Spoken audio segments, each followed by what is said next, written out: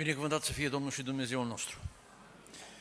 În Psalmul 84 sunt menționate câteva haruri care le au cei ce vin la adunare, cei ce locuiesc, ca să înseamnă să frecventeze regulat casa Domnului.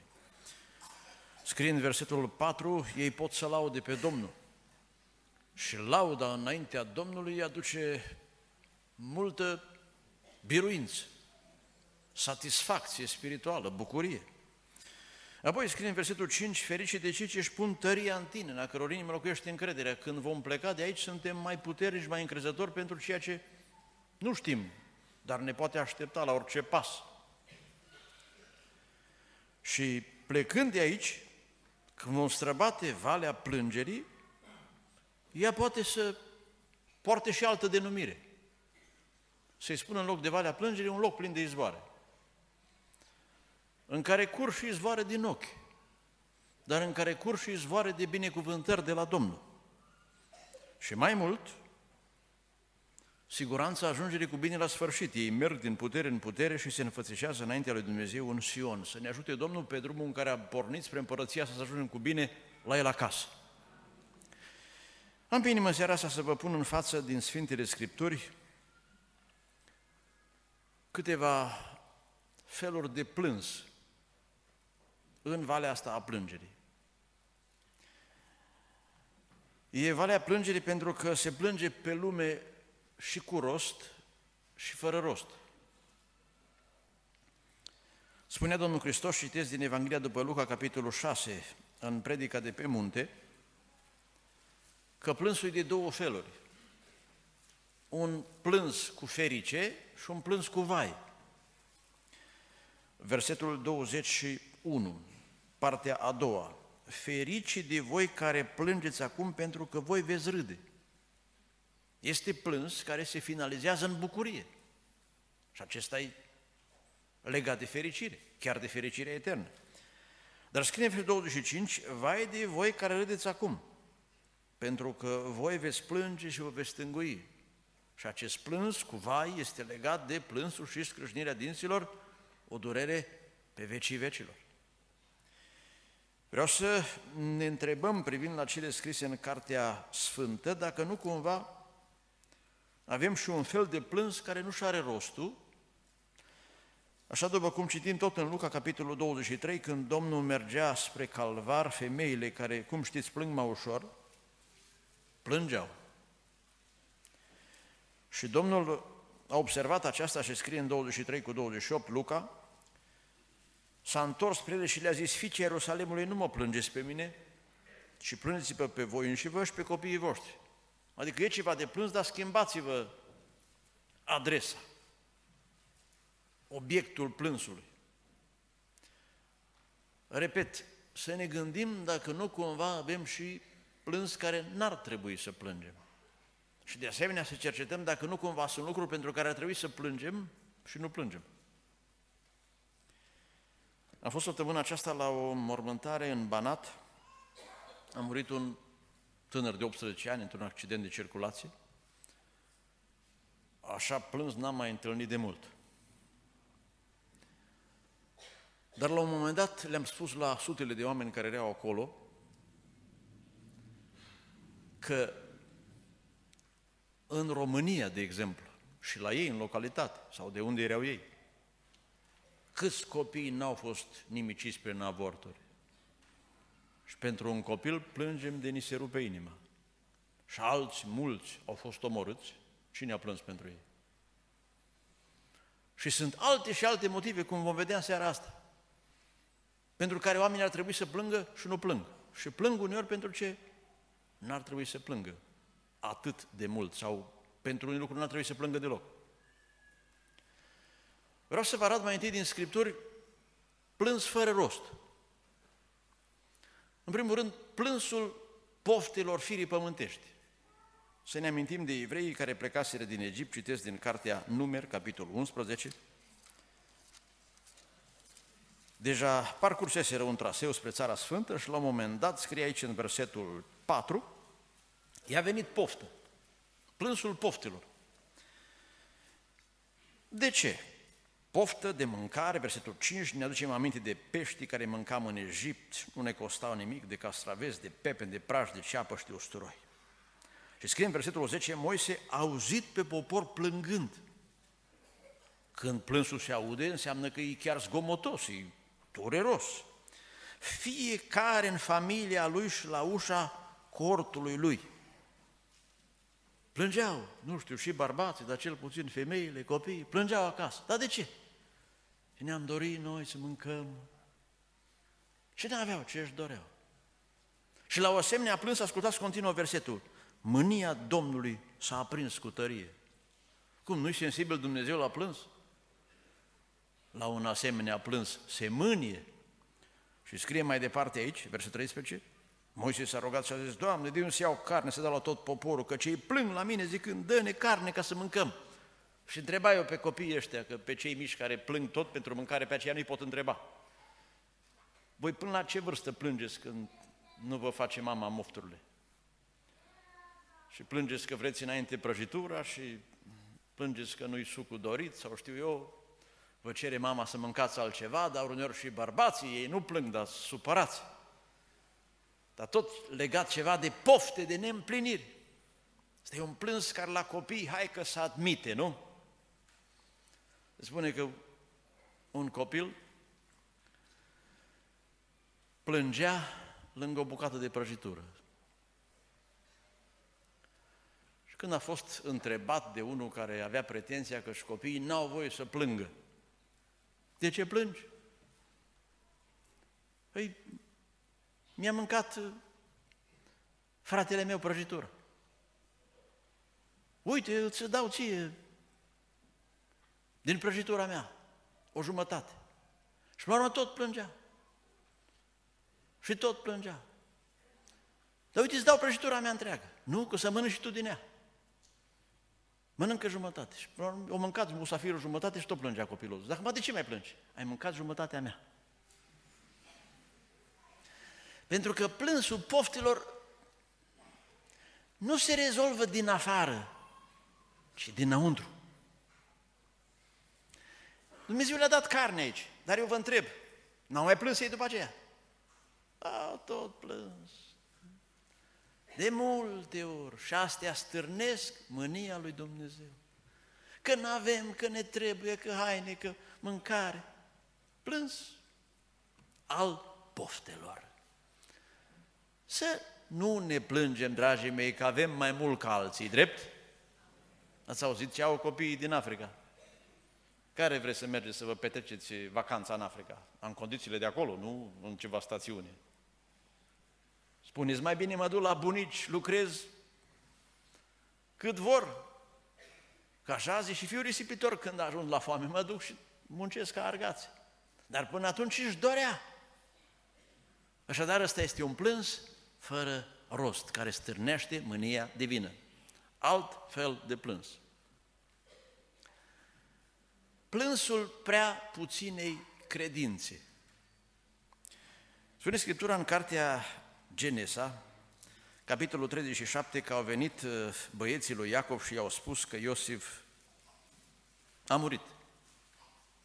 Jale, nu? Să-ți moară copilul cel mai bun, cel mai iubit. Și scrie în versetul 35 că toți fiii și toate fiicii lui au venit ca să-l mângâie, dar el nu voia să primească nicio mângâiere și zicea, plângând, mă voi pogorâ la fiul meu locuința morților și plângea astfel pe fiul său. Cu alte cuvinte spunea, de acum voi plânge până mor. Dar oare nu și-a amintit atunci Iacov că Iosif a avut două visuri, că nu va fi rău de el? Că Dumnezeu îl va avea în vedere? Țin minte că un copil al sorei mele a fost foarte bolnav, vreo 2 ani, a fost operat. A... Și la un moment dat ne-am rugat și am deschis Scriptura, s-a deschis într-un psalm unde e un verset care zice, va trăi multe zile. Și am spus sorei mele, ăsta nu moare. Până a ajuns ea să primească acea credință, a plâns. Dar dacă am avea suficientă credință, n-am plânge uneori. Vă dau un alt caz, revin la Cartea Numeri, capitolul 14. Asta ca să privim așa de-a lungul istoriei, generații, generații. După ce s-a terminat problema aceea cu plânsul poftelor, s-au dus cele 12 iscoade în Canaan, s-au întors înapoi, 10 au dat un raport foarte nefavorabil, pentru că nu aveau credință. Și o zic, vai de noi, și ascultați ce vă citesc din capitolul 14 la versetul 1. Toată adunarea a decat glasul și a început să țipe. Și poporul a plâns în noaptea aceea, e mult să plânge o noapte întreagă. Și copiii lui Israel au cârtit, versetul 3, pentru ce ne duce Domnul în țara aceea în care vom cădea uciși de sabi, iar nevestele noastre, copilașii noștri vor fi de jaf. Nu are mai bine să te întoarce în Egipt, o să moară toți. Au murit cum s-au temut ei? Nu, că Dumnezeu avea putere să-i ducă în țara promisă. Dar fiindcă nu aveau credință, au plâns. Vă mă amintesc încă un caz și tragem concluziile. Cartea 1 Samuel, capitolul 30. David și partizanii săi s-au înrolat cu armata filistiană, s-au dus împotriva evreilor. Când s-au întors înapoi la Țiclag, în loc de corturi și tabăra cum o instalaseră, n-au văzut decât distrugere. 600 de bărbați. Spune în versetul 4, au plâns până n-au mai putut plânge. De ce au plâns? N-au mai avut speranță că își vor recupera nevestele, copiii au zis, totul dus. A fost dus? Nu murise niciunul. Și au câștigat pe toți. Doamne, dă-ne o măsură de credință mai mare. Să nu plângem când auzim un diagnostic, e gata, moare. Și ne dăm pe plâns, auzim într-un accident, s-a dus. Mai scrie în 2 Samuel 13 că a venit o veste. Toți fiii împăratului au murit. La tuns oilor, Absalom au murit pe toți. Și toți și-au rupt hainele. Și zice Ionatan, nu plângeți că numai unul e mort. De ce? Ne temem cu ușurință. De aceea să ne încredem, cum am fost învățat și vineri seara, în Domnul și în prorocii săi. Și să știm că ceea ce Domnul ne-a promis se va împlini. Ca să nu ne stimulăm noi necredința prin lacrămile noastre. Vai ce-o fi, vai ce se va întâmpla. Nu plânge cu vai. Din potrivă, nădăjduiești în Domnul care poate să-ți ajute. Scrie aici în continuare, în Samuel 30, versetul 6, partea finală, David s-a îmbărbătat, sprijinindu-se pe Domnul. Și Domnul le-a venit în ajutor, slăvit să-i fie numele. Se spune că vulturii în furtună sunt fie înălțați, fie doborâți. Știți de ce depinde totul? De poziția aripilor lor. Și și la noi. Ai credință, salți. Păi nu-i mort. Trăiești. Dumnezeu ne ajută. Că dacă tot moare cineva, avem vreme să plângem după aceea. Dar de ce trebuie să plângem și înainte și să ne temem că va fi, că se va întâmpla? Asta dacă va voi Domnul. Iar dacă Domnul își va întinde mâna, vom fi biruitori. Slăvit să fie Domnul. Un alt fel de plâns, tot fără rost. Plânsul prostiei, denumirea nu-i deloc arbitrară. Scrie în Eclesiastul, capitolul 7, că în casa celor fără minte e un râs al prostiei, că în general când e o piesă de teatru sau un film, oamenii râd. Dar să știți că sunt și filme bine regizate care fac pe oameni să plângă. Eu mi-am amintit astăzi că atunci când eram copil, când am citit romanul Uinătu, am plâns când ăsta a murit. Mi-am amintit și acum, era o scenă în care altul vroia să coboare undeva într-o prăpastie și Uinătu a zis că pe tine în cașilor va coborâ primul. Și am plâns bietul de mine citind pe poveștile lui Carmei. Dar câți nu plâng văzând o scenă? Și unii fac teatru ca noi să plângem. Uite așa, ca Dalila, ca cealaltă nevasta lui Samson, asta chiar că e plânsul prostiei. Să plângi că cineva și-a imaginat o poveste și sunt oameni care atâta ficțiune au în ei, încât din nu știi când părăsesc tărâmul realului și ți se pare că chiar s-a și întâmplat. Când acolo stai, dragă, că n-a nu murit nimeni. Dar uite, uite a curs sânge, nu, dragă, că e vopsea. Un plâns chiar fără rost. Și mai este un plâns tot fără rost. De ăsta e pe de adevăratele. E plânsul prea târziu. Spune Scriptura, dar să vă dau un uh, verset și la plânsul ăsta al prostiei. Vă citesc din cartea Ezechiel, capitolul 8, ca să vedeți că întotdeauna ați fost altfel de oameni. 8 cu 14, m-a dus la intrarea casei Domnului și spre miază noapte au zis chiar oameni care au de face cu casa Domnului. Erau niște femei care plângeau pe Tamuz. Știți cine a fost ăsta? Un zeu mitologic, fiul Semiramidei, pruncul lui Nimrod, de unde s-a născut toată religia babiloniană. O utopie, o poveste. Și plângeau bietele evreice pe Tamuz, ca a noastre, uitându-se la film. Dar ascultați-mă ce vă citesc din Cartea Genesa, capitolul 27, despre plânsul prea târziu. Esau, și să mă asculte băieții ăștia care stau pe la balcon, uneori nici nu știi când saci și când pleacă. Ăștia cu vânătoarea. Până la urmă a vrut și el binecuvântare. Și și-a pregătit masa pentru tata. Cu mult speră, am auzit eu spunând, că și eu mă pocăiesc. Am auzit eu făgăduințe. Că și pentru mine Domnul are har și eu sunt născut și eu am fost dus la binecuvântare. Și spune aici în versetul 38, Esau a zis tatălui său după ce l-a implorat de câteva ori, n-ai decât această singură binecuvântare, tată, binecuvântează-mă și pe mine, tată. Și Esau a ridicat glasul și a plâns. Și spune Scriptura în Noul Testament despre acest caz, Cartea Evrei, capitolul 12, versetul 17, știți mai pe urmă când a vrut să capete binecuvântare. N-a fost primit măcar că măcar cu o cerea cu lacrimi, n-a putut să o schimbe. Este un plâns prea târziu. Uneori plângem prea târziu pentru niște situații aici în viață. Sunt fete care se mărită greșit și apoi plâng săracile. E prea târziu, te-ai cununat. Dar ăsta e numai prea târziu aici, s-a arătat numai viața asta. Îmi spunea recent o soră, acum în vârstă, nu de aici.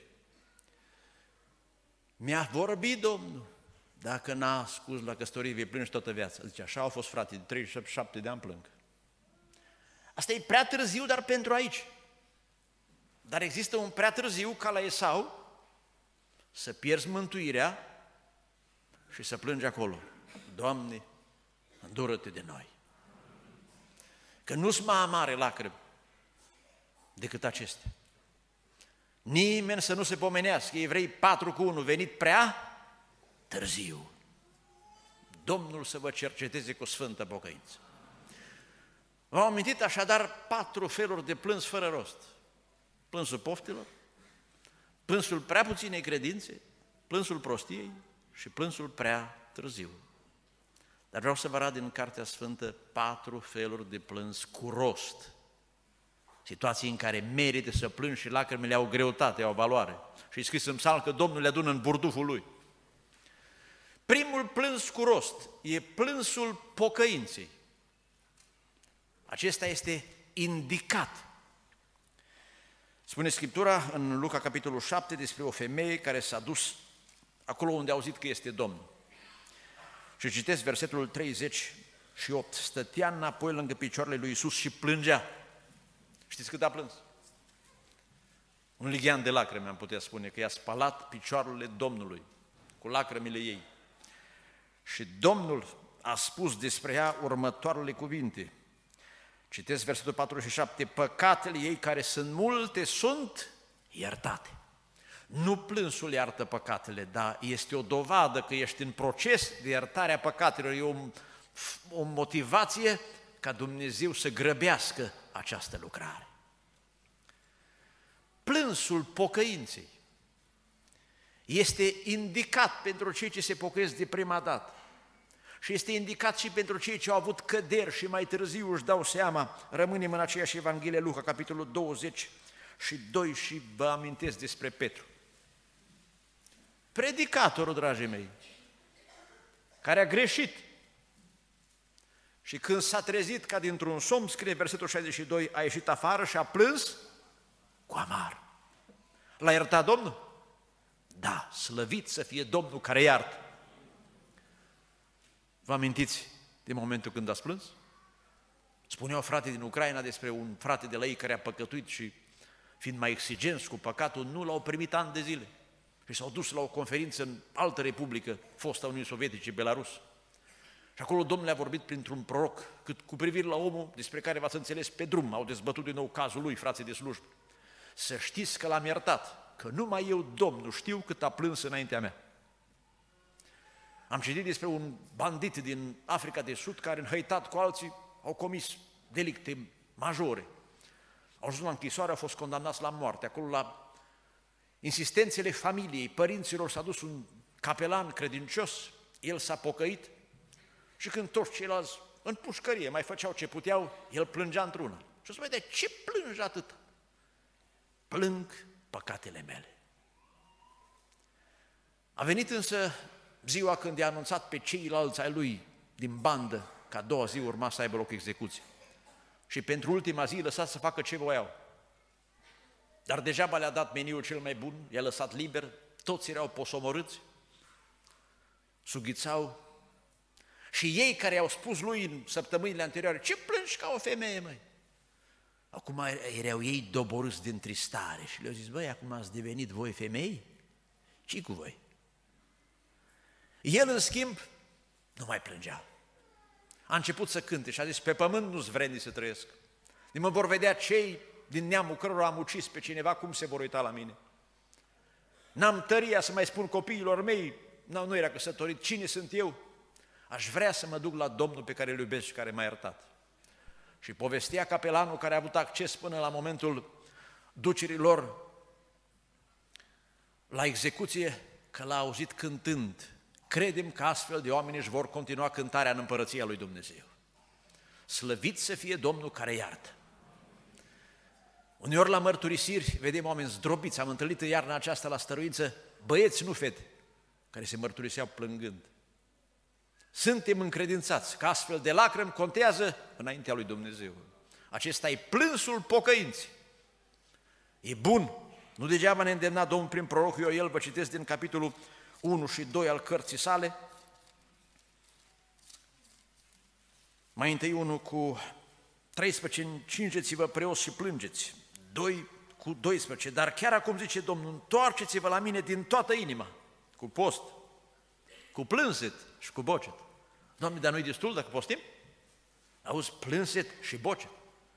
Și să nu spună cineva că frate, asta a fost în Vechiul Testament, că vă citesc din Noul Testament, Iacov, capitolul 4, și fie ca tinerii noștri și oricare se simte vinovat să înțeleagă asta. Iacob 4 cu 9, simțiți-vă ticălogia, tânguiți-vă și plângeți. Este cunoscut faptul istoric în timpul trezirilor spirituale. De vremea lui Jonathan Edwards și altora, Marea trezire din America, secolul 18, plângeau oamenii. O, aducă Domnul astfel de vremuri de cercetare, în care să ne simțim ticăloșia, să ne vedem vinovați și să plângem să ne doară sufletul pentru păcatul nostru. Un alt fel de plâns cu rost. Plânsul prezenței înaintea lui Dumnezeu. Asta e plânsul din adunare.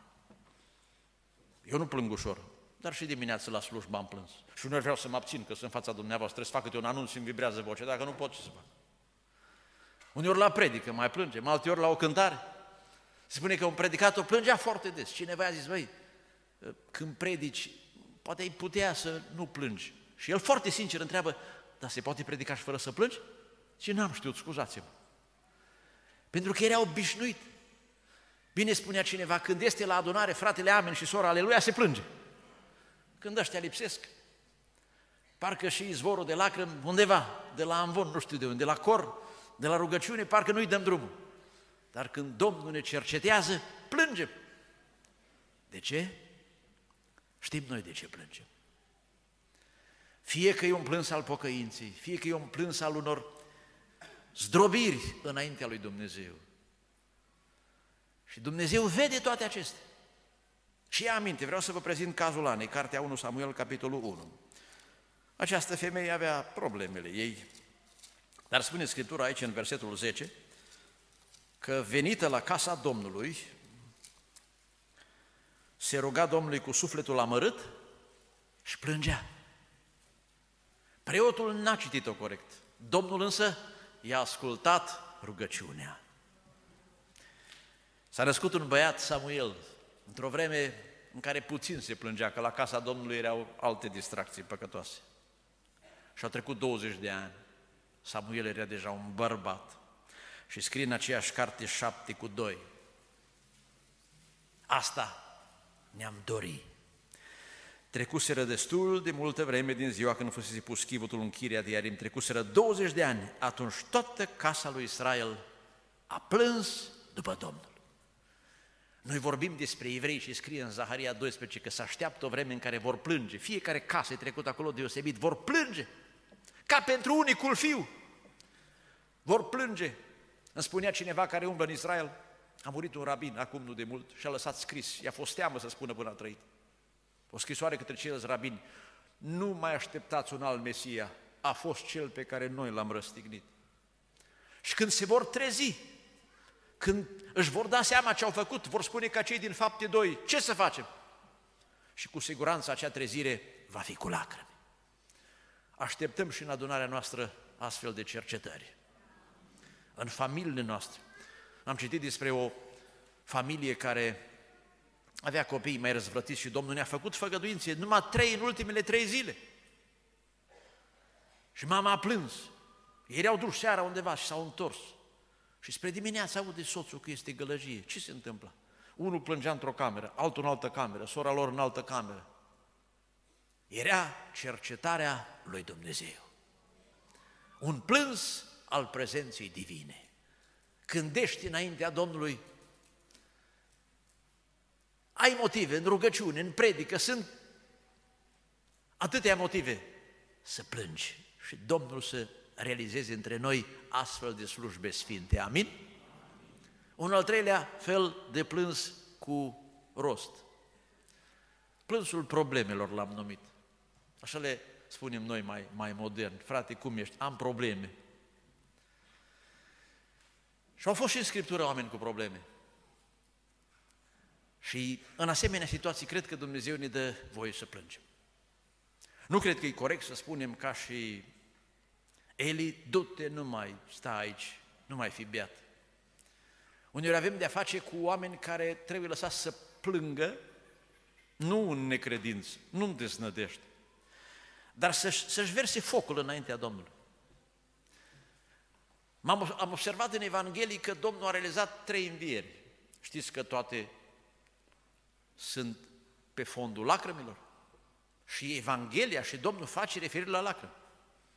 La învierea fiului văduvei din Nair, Luca, capitolul 7, versetul 13.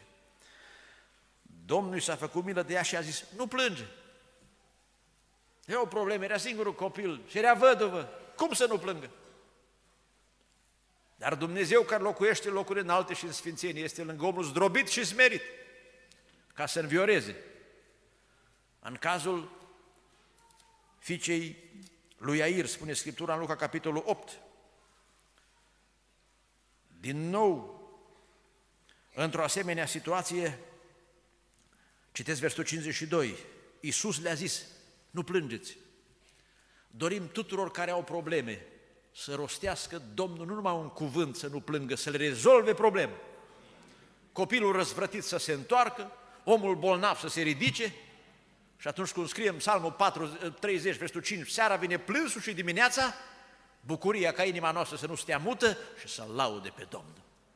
Să pot spune ca și Ana mai târziu, pentru copilul acesta mă rugam și plângeam și Domnul a luat aminte. În cazul prezentat în Luca 11 cu la Lazar din nou, Domnul când a văzut-o plângând s-a înfiorat și scrie acolo Iisus, plângea în Ioan 20, de vreo trei ori scrie că îngerul, apoi Domnul a zis Marie, femeie, de ce plângi? Cum este interesat Domnul dacă plângem noi atunci când suntem necăjiți? Da, că dacă o mamă, atunci când are un copil bolnav sau noi, spune Iov că și cel ce a părăsit frica lui Dumnezeu are drept la mila prietenului său atunci când suferă. Dar Dumnezeu care e plin de bunătate și milostiv, slăvit să-i fie numele. Să nu vă lăsați doborâți de întristare, plângeți, dar plângeți cu credință. Se spune că un țaran a scăpat un măgăruș într-o groapă. Mă încerca să-l scoat, frânghii. Ce să fac? N-au putut. Și a chemat încă pe un vecin și a zis, să nu mai văd aici chinuit că moare de foame. L-a lăsat când l-a lăsat, o să-l îngropăm de viu, să se sufoce și să moară. Da, măgălușul se tot scuturat, o călca cu picioarele pe pământ, până când ăștia și-au dat seama că, dând cu pământ pe el, îl scot afară din groapă. Și groapa s-a făcut tot mai mică până când a ieșit afară. Eu cred că Dumnezeu nu ne lasă să plângem fără măsură. Când am venit aici la Arad, Finia să avea șase luni. S-a îmbolnăvit în casa veche, așa cum îi spunem noi, era igrasie, a făcut o formă de as cronic, doi ani. A fost, nu mai știu cât la spital, cât acasă. Și Domnul a arătat într-o vedenie că pe un pomișor din grădina casei noastre era un foc. Și în paralel, zice prorocul, am văzut niște trepte pe care tu, frate Iosif, urcai. Și mai ai două de urcat până când Domnul zice, sting focul din casa ta, dar până atunci cereți-mă cu lacrimi. Și au trecut doi ani, până când într-o primăvară, după ce a fost el în spital și cu perfuzii, mi-amintesc că atunci învăța să vorbească, când avea perfuziile în cap, zicea, nu mai pune că doi.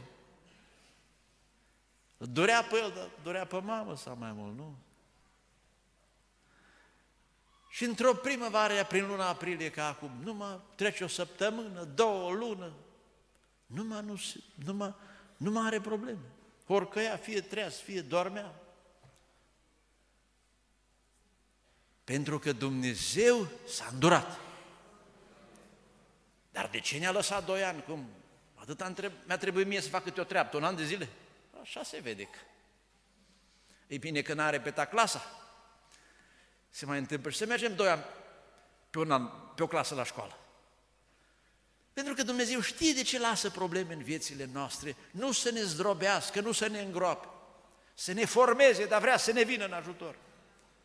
În probleme să nu plângem desnădăjdui, să nu apelăm la oameni, să apelăm la Dumnezeul nostru. Dumnezeu a mustrat pe unii împărați care atunci când aveau bol se duceau la oameni să întrebe. E normal să te duci la doctor, dar nu înainte de a te duce la Domnul. Și apoi vezi dacă spune Domnul de mergi la doctor sau nu-i la doctor. Soția mea în urmă cu vreo două săptămâni a avut niște crize mai complicate, ceva ficat, pancreas. Și visez eu într-o noapte că era undeva la un spital și îmi zice când o vizitez, asistentele astea se poartă tare rău cu mine. Tot la Domnul am să mă duc să-mi rezolve cauza. Păi ce să fie? Și în ziua aceea Vine niște prieteni ai noștri ce noi avem cunoștințe cu o doctorită pocăită, te duci acolo și acolo și soția șoptește pe ce au plecat ei, să mă duc la asistentele alea care le-ai visat tu? Nu, zice, mai bine vin la Domnul. Și Domnul s-a îndurat și acum de câteva zile Domnul a luat durerea, că este bun. Plânsul problemelor noastre este cunoscut de Domnul, slăvit să fie în veci. Și aș mai aminti un singur fel de plâns, plânsul părtășiei după ce am fost întristați, după ce am fost despărțiți. Și vă dau ca exemplu pe Iosif din Cartea Genesa. Spune Scriptura că după ce au venit frații lui, capitolul 42, la prima vizită, versetul 24, Iosif a plecat la o parte de la ei ca să plângă. N-a mai putut. Capitolul 43, versetul 30, Iosif a isprăvit de repede căci se rupea inima pentru fratele său și simțea nevoia să plângă. Auzi, nevoie să plângi. Dar de ce? Și-au văzut frații. Mărea mai înainte când îți venea băiatul din armată, ce făceau mamele? Păi plângeau, să-ți vină cineva departe, să fie eliberat. Niște frați cu care nu te-ai întâlnit. Și apoi în capitolul 45 explodează. Până atunci s-a tot controlat și plângea tot pe ascuns. Acum așa dat drumul pe față. Și a strigat versetul 1, scoateți pe toată lumea afară, a izbunit într-un plâns așa de tare că l-au auzit egiptenii și casa lui Faraon. Dar după plânsul ăsta a fost slăvit Dumnezeu. Că au văzut cum s-au împlinit lucrările lui cu credincioșie. Cred că aveți astfel de situații care poate a plâns pe cineva că e absent și cum scrie în Ieremia 31 cu 16, auzi, Rahela, nu mai plânge. Și cred că este un cuvânt ce rostit Domnul zilele astea pentru unele mame. Că fiii tăi se vor întoarce din țara vrășmașului. Mulțumim Domnului Anul acesta în Betel a fost un fiu rispitor care s-a întors și după făgăduința Domnului se vor mai întoarce și alții. Și când ne întâlnim cu aceștia, e mai frumos decât dacă ar fi fost închiși. Pentru că au fost închiși în temnița diavolului.